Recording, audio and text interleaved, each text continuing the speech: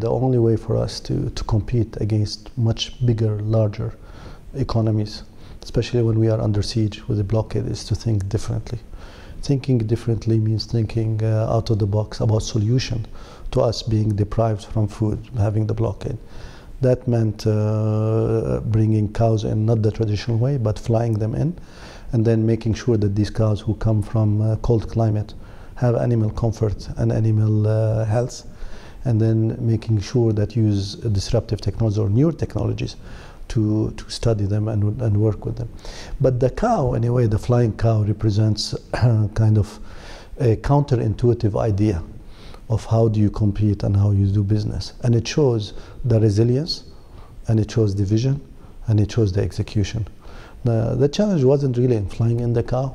The challenge was in keeping the cow healthy after it's flown in and making the cow productive and giving you good yield. This was a very high risk project. People now look at it and think it was easy just because it happened.